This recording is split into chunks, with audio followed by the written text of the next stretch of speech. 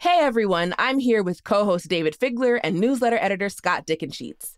And today on CityCast Las Vegas, we're talking about Siegfried and Roy's jungle themed mansion, a lawsuit over kids who vape, and the bill that sparked uproar in the craft brew community. It's Friday, March 10th. I'm Vogue Robinson, and here's what Las Vegas is talking about.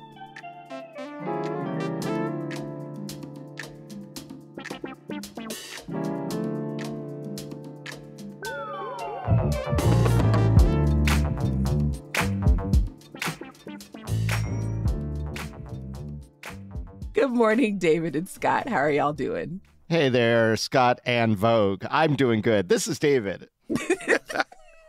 I'm Scott, and I'm doing well. Last night I went to see Frozen uh, at the Oh. Smith Center. Oh, It was opening night, and wow, what a treat! The staging and the the lighting effects and so on were were like genius level. I've never seen anything quite like it. Mm-hmm.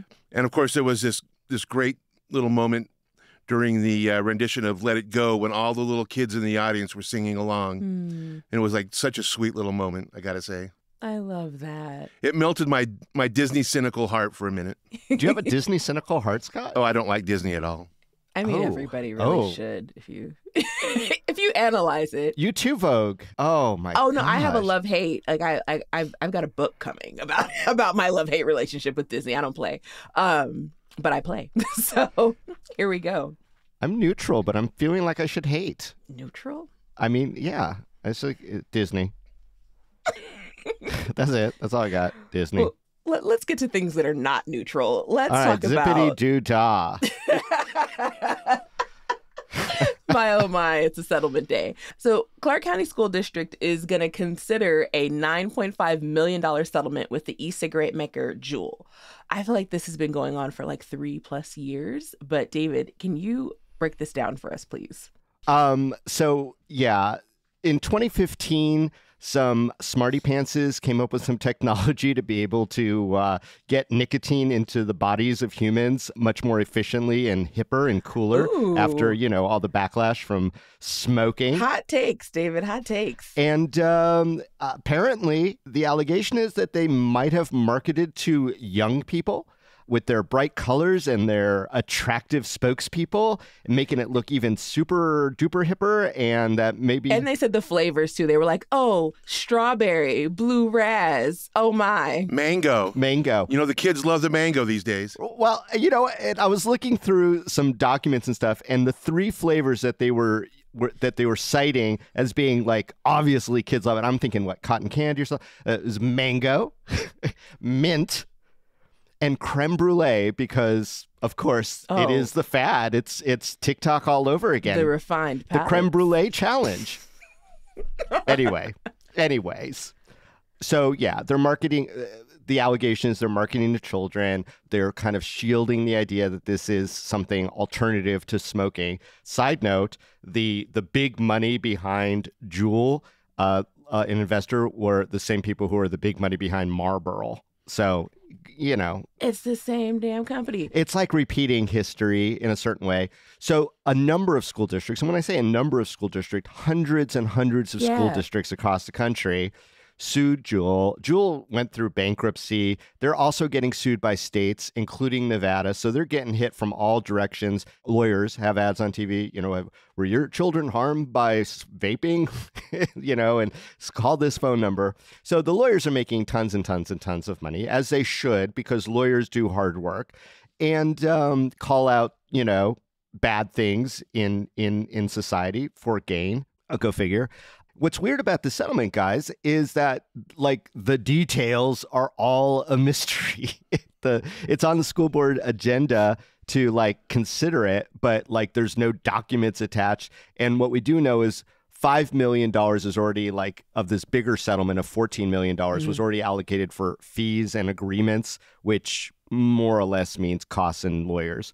Scott, you're you're my age. Was smoking such a bad thing when you were a kid?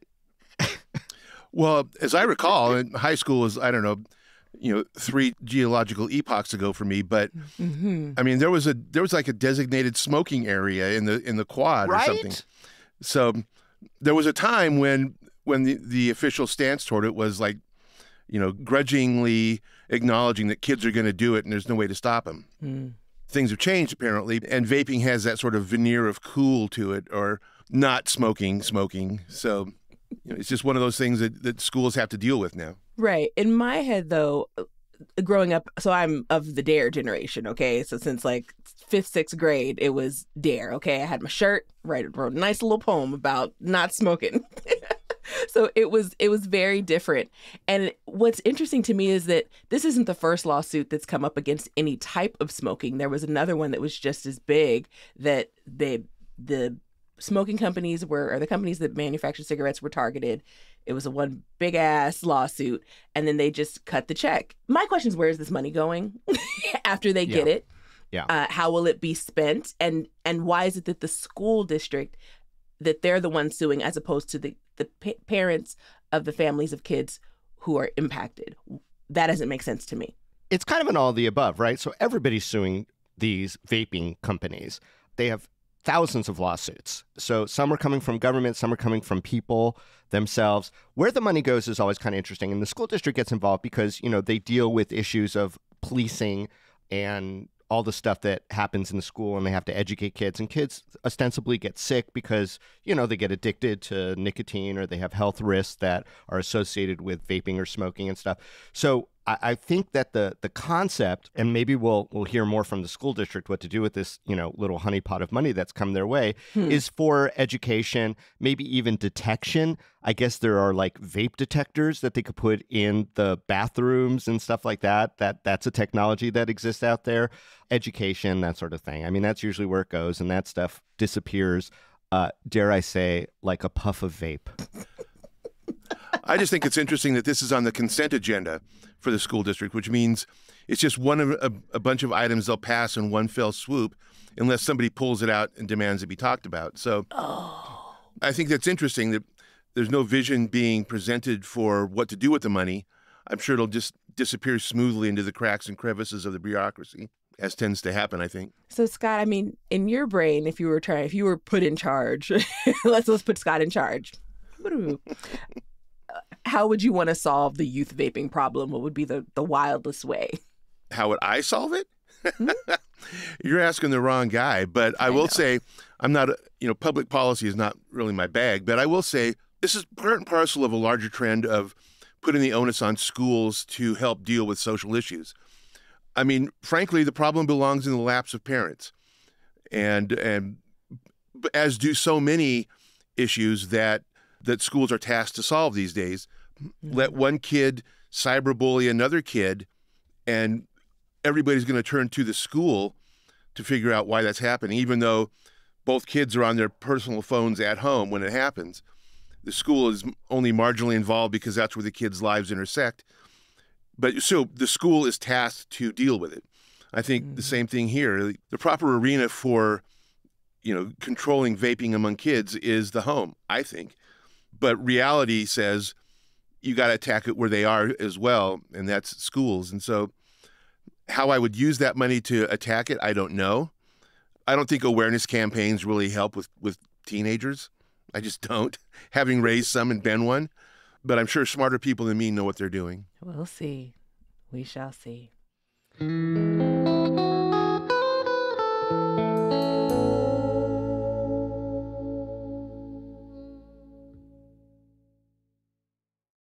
Let's move on to uh, to more things being regulated by the government. Th- this is starting to to show me how much I'm like, do I want the government's hands in everything? Like, ooh, all my views are changing, you guys. Yeah, it's that Nevada way. So the breweries and the distributors are clashing over a newly proposed bill. And so I got to dig through uh, an article written by Jacob Solis in the Nevada Independent about the way that the laws are now. A beer that's brewed in Henderson has to be sold to a distributor, and then that brewery then has to buy the beer back at a markup so that they can serve it in their own tasting room in Las Vegas, which is like a weird triangulation, but it's set up that way because the 1933 post prohibition, the three-tiered system was created and that was so that you could there was a separation between suppliers so your breweries and your wineries your distributors whoever's driving it from point a to point b and then your real retailers. All three things had to be separated. And so my understanding is this was done to keep a level playing field, but it doesn't really feel that way.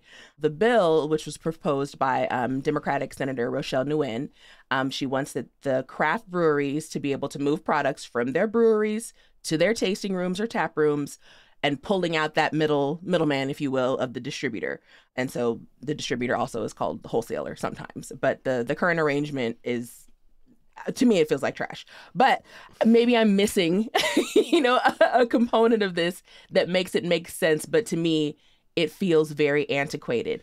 I gotta say the three-tier system sounds at first blush like a middleman protection uh, legislation. And the distributors have a lot of money to, to spread around in political campaigns and so on. So uh, Yo, that, that... Yeah, surprise that might impact the continued existence of this three-tier system Right. I'm going to pull those numbers for you because that was like the big thing that I noticed too was like their contributions are here we go. Per the article, the state's wholesalers are perennially among the top campaign donors to Nevada lawmakers from the alcohol industry, often giving legislators from both parties tens of thousands of dollars in contributions. So, yeah. are these arcane rules? Of course, they're arcane rules. Is there a justification for still having them? It's a bit protectionist. And will the world fall apart if this new law is passed? No. Will it make things easier for some? Yes. Will some people be financially damaged? Yes. Are the arguments that are being raised is that you need this three tier to basically have a uh, checks and balance system? Are those legitimate arguments? Potentially, there's going to be abuse in a system where there are gaps, where there are loopholes. Sure, sure, sure. Does this solve it? Ish. Dayvid, Not really. You're, you're jaded is like. No, I mean, this is what it's all about. This is the same thing with cannabis, right? When they decided to do their thing, they looked at alcohol and how alcohol did it. And, you know, people who distribute make money distributing and and they have their own regulations their own rules and things like that. And so that was thought in the modern era to be a good system to try to replicate. Also didn't really work out. So i i get i do get both sides of it. I understand why this is a pain in the butt for some of these breweries because they're really trying to be innovative and trying to do stuff and trying to stay profitable and then they have this extra expense. And i understand why the others are saying no you really do need this to make sure sure sure that alcohol is not exploited because alcohol like cigarettes like everything else is just evil inherently and people will you know exploit a system to their own gain. And what we really need vogue is prohibition of everything Las Vegas needs to turn into little Utah, not little Amsterdam. So one of the things the article pointed out was that you know on a quick Google search, there's 250 craft brewers in Seattle in the city, and we have 51 craft breweries in our entire state. So there's clearly a huge difference that these laws, the current laws, are making in in whether or not breweries can expand and grow. I guess from you guys' perspective, you know, what does a thriving local beer scene do for a bar or for a city? What are your thoughts on that, Scott? Well, I think the more thriving the local craft bar scene is, the more thriving, you know, it, it adds another element to the localness of a place, the distinctiveness of a place. And I'm all in favor of that for sure. Mm-hmm. Keep in mind, though, that, you know, Seattle was the birthplace of grunge. So, of course, there's going to be a lot of beer there. Um, But no, I, I do think that. Also, a lot of coffee there. Also, a lot of coffee. I do think that, as with all things cultural, the more you can localize it and particularize it to a place, the more it helps people, you know, consumers and so on bond with that place because it doesn't feel like you're drinking some generic beer from, you know, from across the country, you know, made by robots or something. So no to robot beer. You know, we have a vibrant beer scene here. This is like a weird technical glitch in the the flow of of money and beer, and I'm sure it'll all work out. But you know, both sides are not poor. They're both going to yell, and eventually the legislature has to come down on which side it's going to help a little better. All right, it's going to be interesting.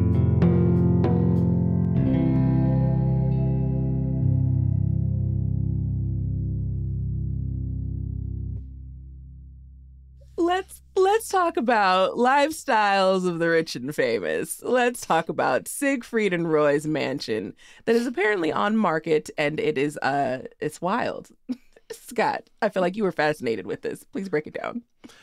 Well, sure. Who I mean, who wouldn't be? It's Siegfried and Roy, and they're you know one of the pillars of the modern Las Vegas entertainment scene, known for their sort of garish, over the topness on stage and off. And so there's definitely a little bit of a voyeur's, you know, sizzle to looking at the photos of this, you know, jungle palace as it's called. you know, it's pretty interesting. It's 8,700 square feet and has two bedrooms. so, you know, you so What? yeah, two bedrooms.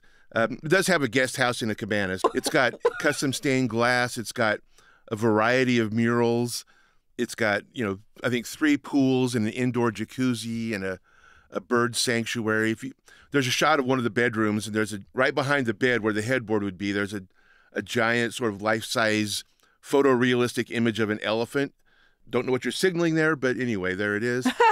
and there's some there's some tufted, tasseled material hanging from the ceiling. In a way, it's sort of as, exactly as kitschy and garish as you might expect it to be. I have to say, I couldn't help as I looked through the photos wondering, like, where did they put the giant kitty litter box? That's what I want to know. I don't think it works that way for the big cats. Well, I mean, I guess you just let them go wherever they want. You're gonna tell them otherwise, Ma? So it looks like this house it's three million dollars. Three million dollars. A bargain. built in 1954 and it's on Zillow y'all you know you could you could get this 8750 square foot property It's got trees galore. It's a there's sort of this opulent lushness about the whole thing. And there's a poignance to it too, I have to say. You know, Siegfried and Roy had been around Vegas for a while, but they really came into their own around 1990 with at the Mirage. So at the birth of the mega resort era, and if you recall, that was a garish time too. They were building pyramids and castles and replicas of Oz and all this cartoonish, over the top architecture, which, you know, sort of later sort of morphed into a, a more generic sense of luxury. And now all the hotels look like they could be office buildings in Houston. Mm. And so Siegfried and Roy and their their passings in 2020 and 2021, I think, kind of closes the book in a way on that era of Vegas as this super gaudy, over the top, the tackiness intensified of Las Vegas. and so there's to me there's kind of a you know a, a poignant note to that. that makes sense i could see that i'm sad i missed the garish days i, I wouldn't have been above it Um, all I'm going to say is this Siegfried and Roy rose from legend to myth in our community. There wasn't anyone who lived here who didn't know of. I would say that they were probably our most famous residents at one point.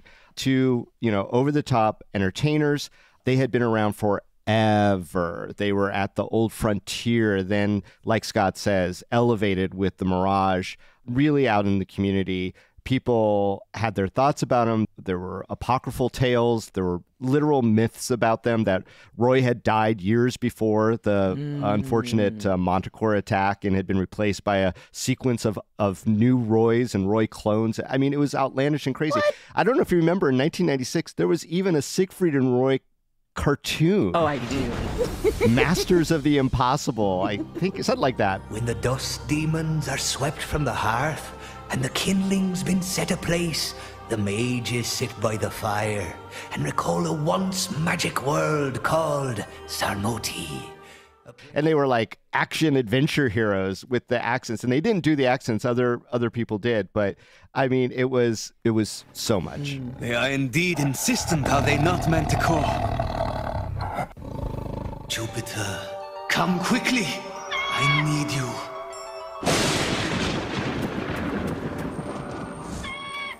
the bus were considered to be public art the ones of siegfried and roy that were outside the mirage and i i don't know that it's still there and i don't know if the new owners the hard rock are going to keep them but they should because what's more vegas rock and roll than you know two foreigners who have really large cats some of whom are deadly doing magic come on it's everything oh So it is sad that it is that kind of the end of the chapter. Uh, but you know, all all things in Las Vegas, especially, must pass. So Siegfried and Roy will pour out some schnapps for you, and uh, hopefully the house will go into good hands and not flippers. Oh, can you imagine what a flipper would do with how many square feet was that? Eighty seven hundred. No, over over eight It- thousand. yeah, a lot of lot of visits to Home Depot. A lot of gray hardwood flooring. Yeah, gray hardwood flooring. Oh Right. no, travesty. I don't know. I feel like they should. I want. I want like fifteen tours before it's closed. Like I want. I want it to open up for tours before they fully do whatever they're going to do with it. But maybe maybe they'll have open houses. If they have an open house, Dayvid, we're going. All right, I'm in. Yes. Scott, do you want to come? Oh, absolutely, absolutely. Okay, cool. We'll bring the family. It'll be a selfie bonanza. Siegfried and Roy, just two ordinary guys trying to make an honest buck. Hmm. A Is tale as old as time. well, Dayvid and Scott. I'll see y'all when we meet up at Siegfried and Roy's house for the tour. Thank you so much for a wonderful conversation this morning. Thank you. Thanks, Vogue. And I, I have so much to take away. Don't vape. Don't have large cats around you often. And the Flagon with the Dragon has the brew that is true. If anyone gets that reference, send that to Scott, care of Scott.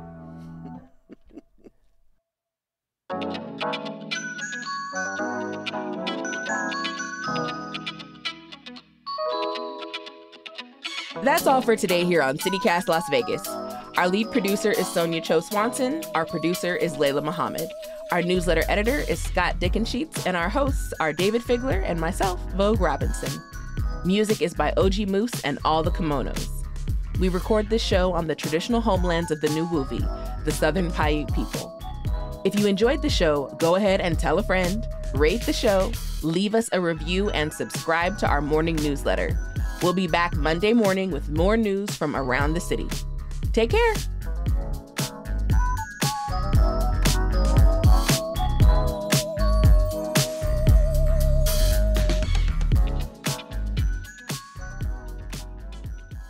Scott, do you remember your first beer?